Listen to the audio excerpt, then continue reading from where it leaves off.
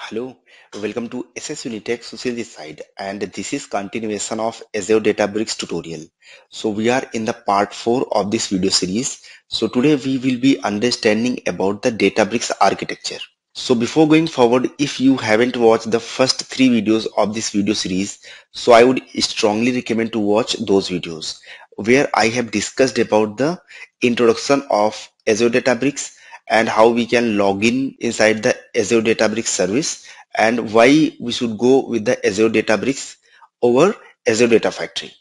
So if you want to understand then you can watch first three videos. So let's get started with today's video.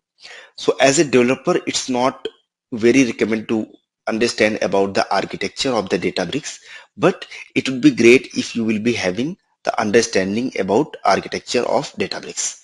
So go to the next slide and we'll try to understand each and every concept of the architecture. So basically inside the Databricks, it is having two different plane.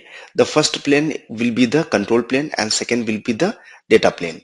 And control plane will be available on the Databricks subscription. So that will be your Azure subscription and data plane will be available on the customer subscription. So why it is available in the customer subscription? Because data is very precious and secure. So it will be available only on the customer side. So customer will be the owning this. So that's why it's available in the customer subscription. Now inside the control plane, here we can say it is holding the Azure Databricks UI and Azure Databricks Cluster Manager and it will also be having DBFS, which is the Databricks file system and the cluster. So these things will be available on the control plane. I have discussed basic about all these things in our previous videos. So you can watch from there for the better understanding. You can only understand here like we will be having the cluster and this cluster will be created on the control plane and which will be on the Databricks subscription. Now go to the data plane.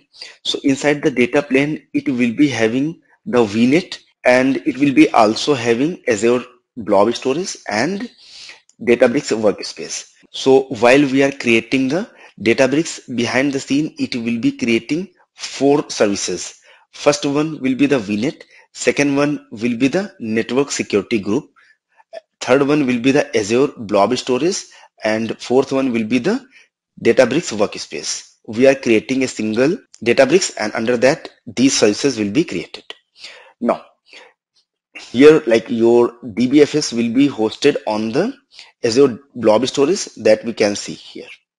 Next we will be trying to log in by using the Azure Active Directory and once we will be successfully log in here then we are required to provide some of the tasks. So those tasks will go inside the Databricks Cluster Manager and Cluster Manager will be going to go inside the Azure Resource Manager and Resource Manager will be taking care for distributing the task. So how it will be distributing? It will go on the VNet and under that it will be creating the virtual machines. So these virtual machines will be created based on the nodes of the cluster.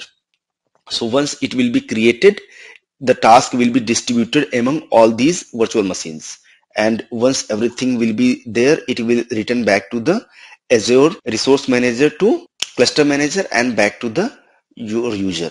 So simply you can understand you will be going to log in by using the active directory and you are asking some of the tasks like we want to fetch the data from that file.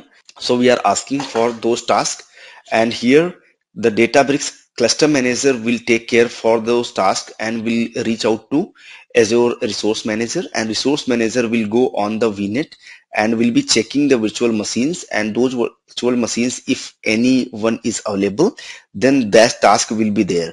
And if two are available then that task will be splitted out into two virtual machines and after getting the response from there it will provide the response to the cluster manager and cluster manager will be providing the response back to the user so this is the overall architecture of the Databricks. So it's not very difficult. It's very straightforward. You can easily understand. I can understand like all these concepts are not very understandable right now, but don't worry. we will be discussing each and everything in our upcoming videos in detail and with practical. So you will be understanding those and once you will be understanding those individual concepts then you can revisit on this video and then you can again relook on this. So thank you so much for watching this video. See you in the next video